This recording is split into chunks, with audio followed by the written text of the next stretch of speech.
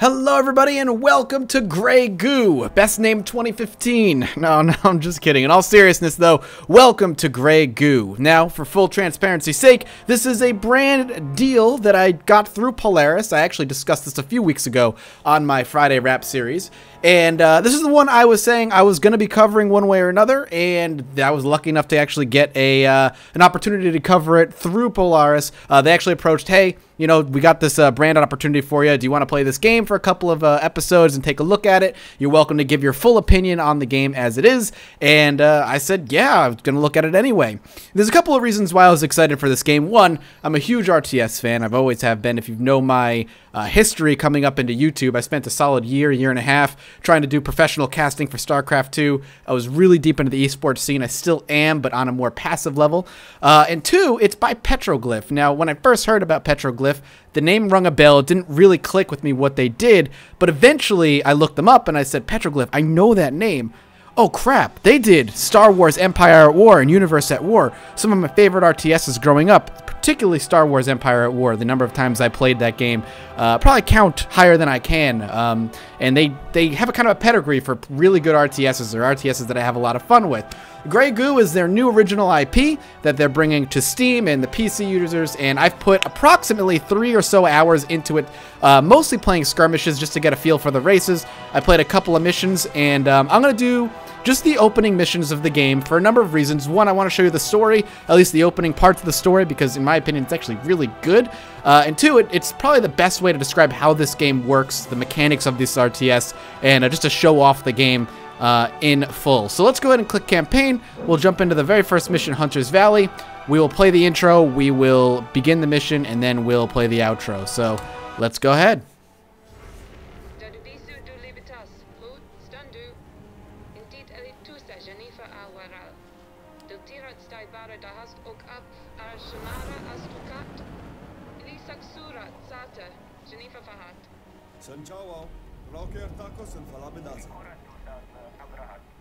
Rafa arrestatu. Ivariaka kutri. Aitsak mirat miri. Astabahi matira dura. Efira undorirat. Safiro esarok. Rutim tulu. Securita? Securitaba? Securitusa? Čatral kde dasat? Tasku da otos. Tradu skal. E kos... Primidat! Lukidu Libanas! En Himo! Umbahan!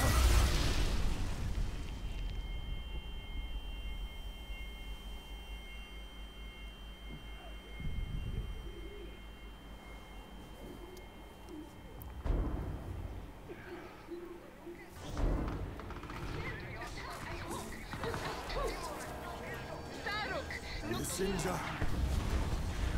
Tatus Atane Alin. Dulkapani da Ene Suritu. Tulapira Karibadat. Hiri Saruk. In Finland Maka Ia bisu Sinja du Aramali. Pasuki Mirak du Libanas.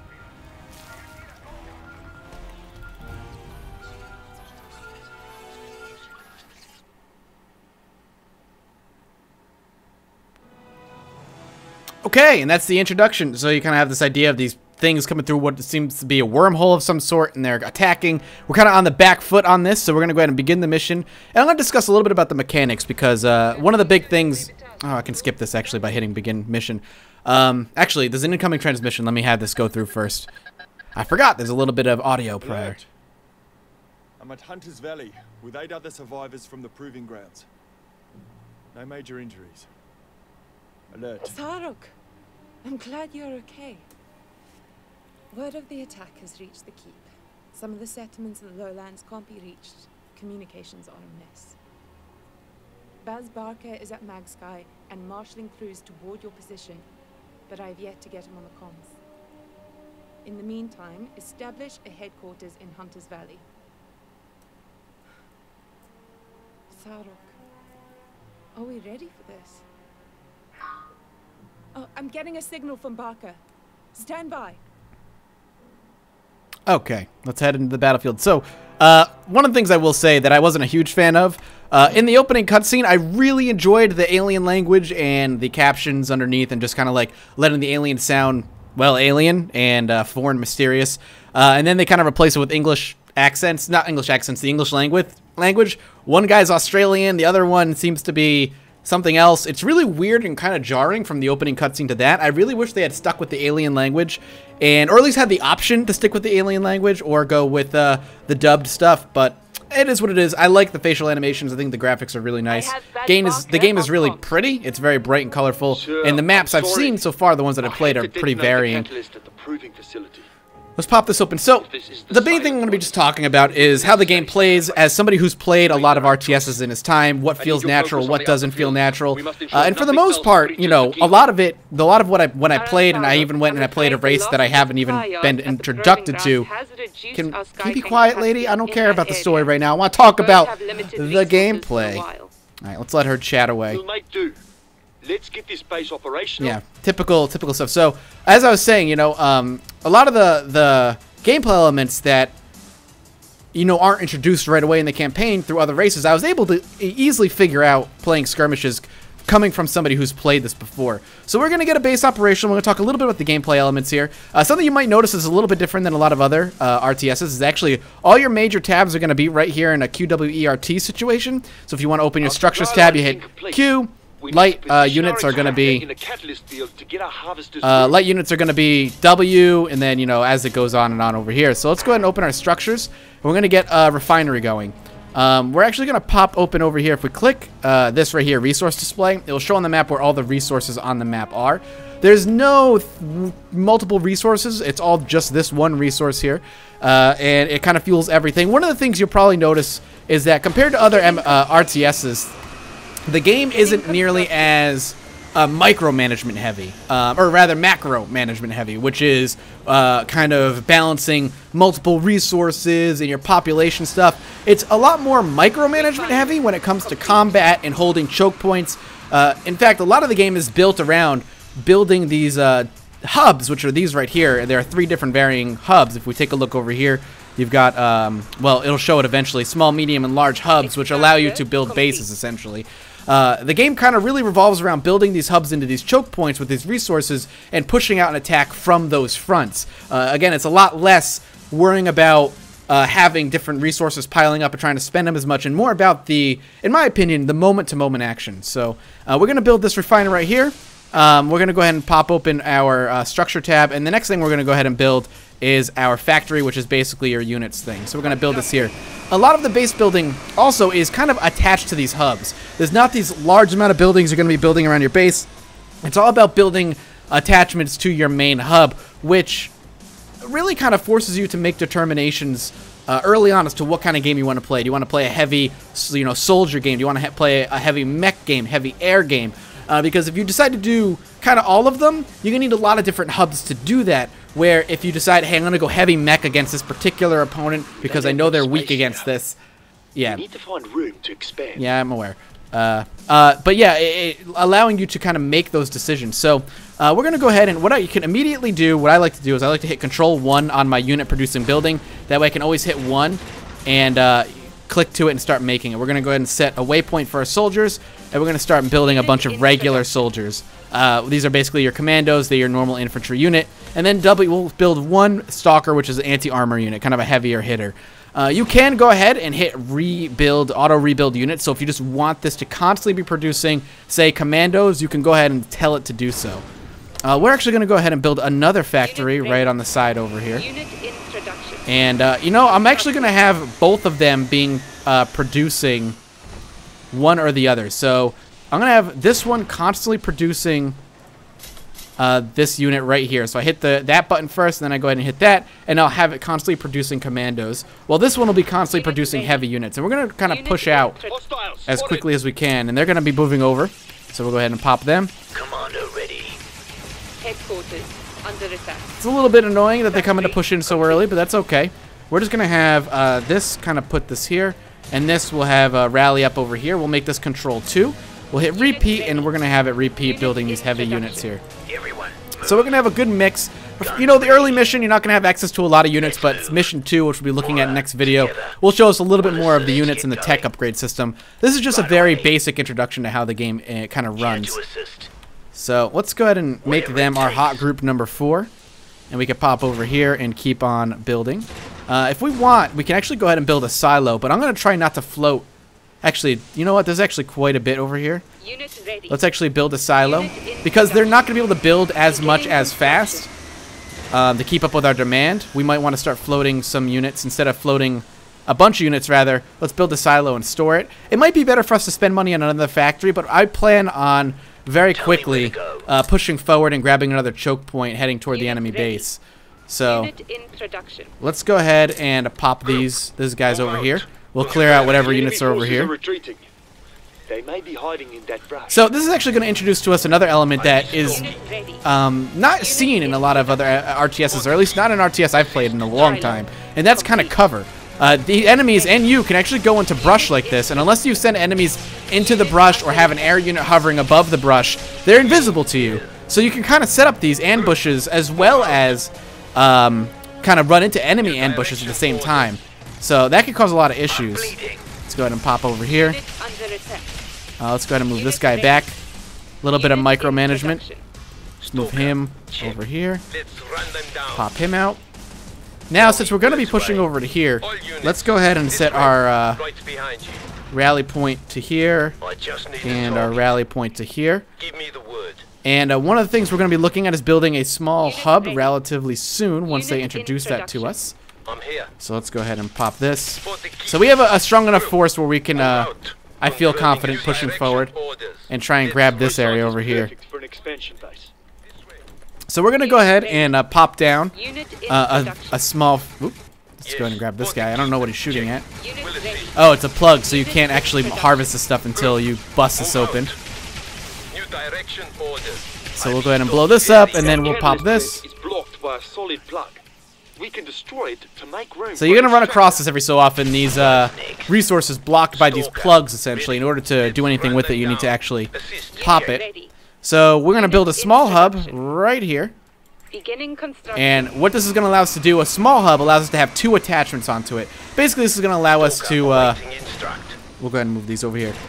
Allow us to have some more units. And again, uh, the choke point I was talking about earlier. This is uh, a good example of that. So let's move this up this way.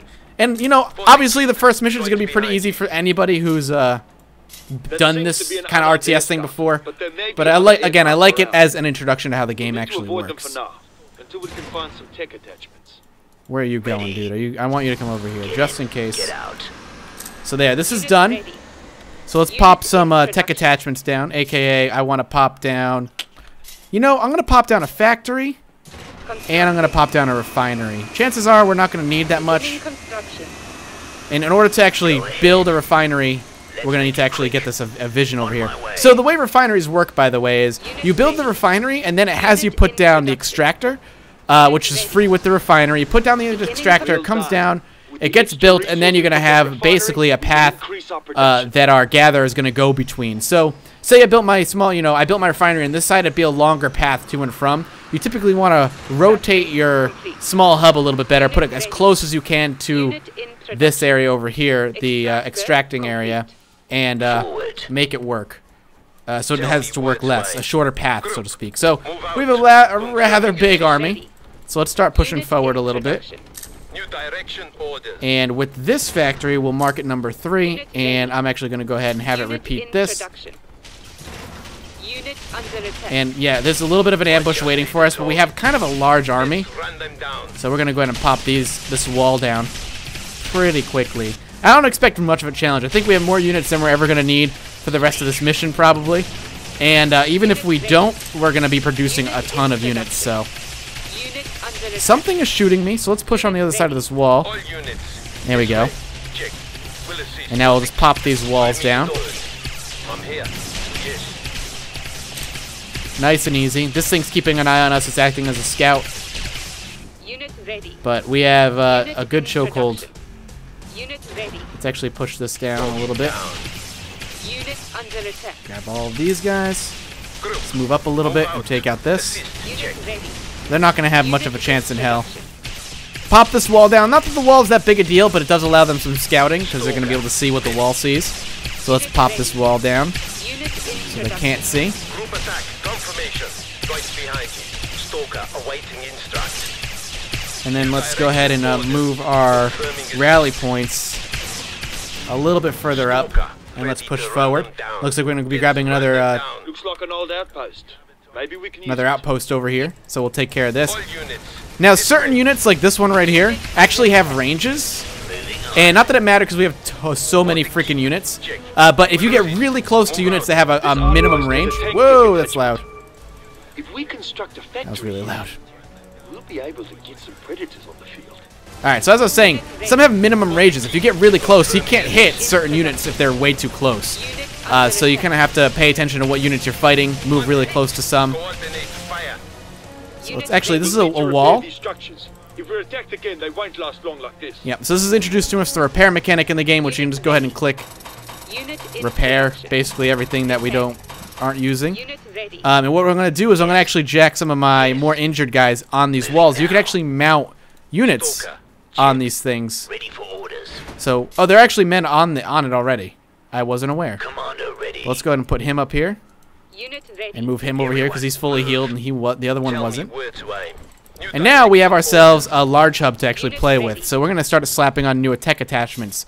So for instance, let's get a um, a tank attachment on here and an air attachment. Now is this this already have a tank attachment here, but let's go ahead and repair it.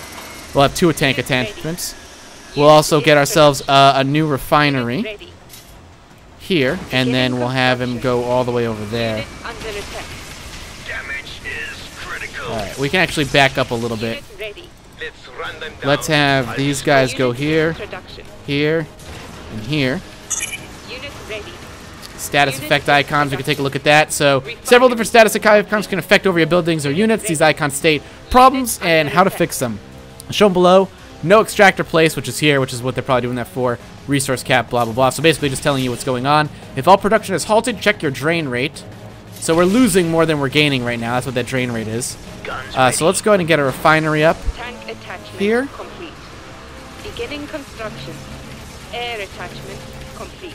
We actually need... Oh, it's actually repairing, so we'll be fine. Also, we have a huge army Going now. over here that I wasn't aware of because I am Unit stupid. Unit Same with this. So that's fine. Complete. Now, we are going to eventually get some tech upgrades. But for now, I want to get everything in here. So now we have 10 coming in a second. We don't really need to get much else. Unit ready. Unit introduction. We're actually gaining 10 now. The other thing, too, is we were probably spending a lot on repairs. So we can push Unit forward a little bit. attack. All units, this way. Stalker, taking This damage. is something we can actually end up selling. Unit Because it gets no power. It's not attached to anything. I don't think we can actually attach it. Unit No. So we can actually go ahead and sell this Unit under attack. just to get rid of it. Unit ready. Let's go ahead and push forward a little bit. Will open. For the keep.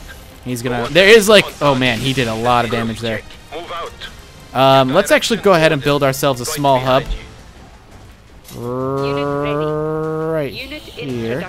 Let's actually rotate it by holding left click. Beginning construction.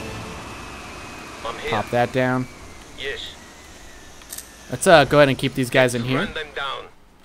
And again, we just have ready. so many units, and they're gonna constantly be doing that. So, This way. Unit ready. Unit introduction. um, we need a factory over here. So let's get a factory up. We can build one here Constructing. and uh, another one here. Unit introduction. So this is done. He's probably gonna end up dying. Let's build a silo. Unit ready.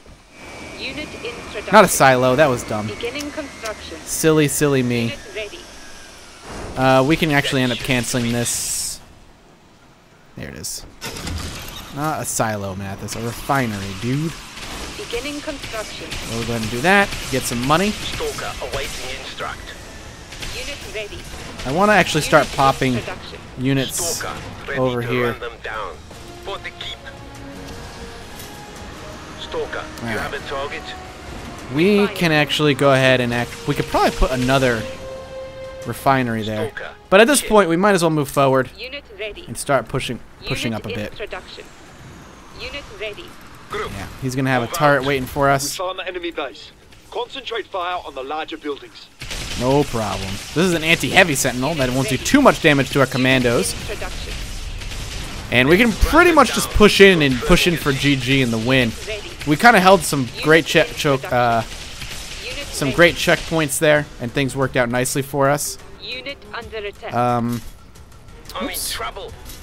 if we want, we can actually start building some predators and tank bursts, uh, which came with building the ability to build tanks, the item that we actually had over there. This way. Check. When we built the tank uh, tech base and the air tech base, it was pretty simple for us. Unit ready. Unit Let's actually move up and pop on the heavy sentinel. Taking fire. Tell me where to aim. We'll add them to our big uh, hot group. Want the key? Take out their factory so they can't produce any units, and then push in a little bit more. Could probably zoom out a bit. I'm probably a little zoomed in. The more zoomed out, the better. We could see a lot more. I just need a target. What? Do this.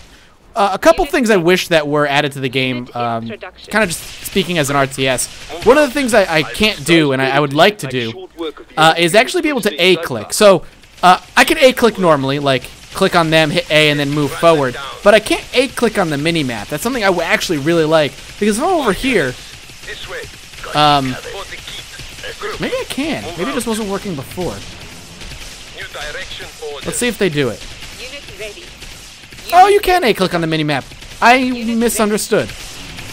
My fault. Uh, I was playing earlier and it didn't seem like it was working, but I think maybe I was just was dumb.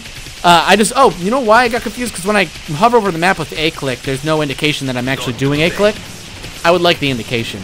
The other thing you can do is you can actually rotate the camera a bit, uh, but it changes, like, your little rotation, which isn't a big deal. Uh, but if I start dragging this around a little bit, um, it gets a little bit, it gets a little confusing. Minor, though. Super, super minor argument. All. Alright, let's move forward a bit. This way. Want the key? Let's kind of push this up, Promised. Check back. take out the factory.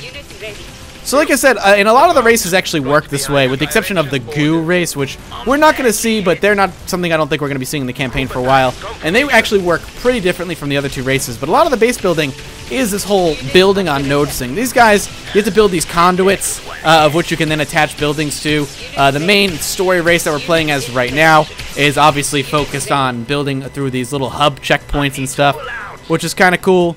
Uh, but again, it's more focused on the uh, the micromanagement and combat than it is on the macro management. Not really having to worry about you know constantly managing your credits because you can actually have a barracks or a factory or whatever constantly building units for you. So it really does take that weight off your shoulder. It's a little bit more casual, I guess. Which I mean, depending on how you look at it, can be good or bad. Uh, for somebody who's into like the super hardcore RTS scene, it might be a, a, a little bit easy for them to get into. So I would suggest upping the difficulty of the game. Um. Oh my goodness, I forgot there's so many over here. Uh, but for you know somebody who's into RTSs but isn't into necessarily like the uh, the really hardcore micromanagement stuff, this game you know kind of has you for that. It's it's definitely for a, a little bit more of a casual crowd, and I can get into that for somebody who doesn't have a lot of time like I do to get into the hardcore RTS scene. It's gonna be it's gonna be a little bit more uh, friendly, you know, so to speak. So let's just we're still gonna finish out this base now, and it's basically all done. Unit introduction. I like the way these buildings die. They kind of just port away and get dissolved. I'm curious what the story behind that is and how that works. I'm assuming during the campaign we'll be allowed to play uh, all the races, and that's it. That's the first mission. So a good introduction to how the uh, how it all works. The second mission is a lot more open, so we'll be diving into the second mission next. Let's watch this first. Ambushed. There must be more of the silent ones. So it would seem. There are reports of landing craft throughout the region. They'll attack our settlements, won't they? They will. I'm ordering an evacuation. I need you to buy us time and hunt down those landers.